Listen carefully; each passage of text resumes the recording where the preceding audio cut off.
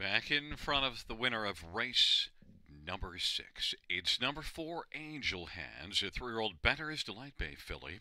Owned by Travis Cullen and Keith Hanna and Jason Hanna. Jody Cullen is the trainer. Travis Cullen, the winning driver. First win for Angel Hands. Mile of 159 and 2.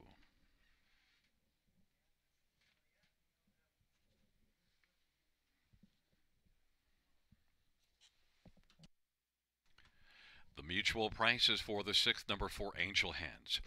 25 59 73 10 six secrets later 11 33 71 218 at 210 dollar win for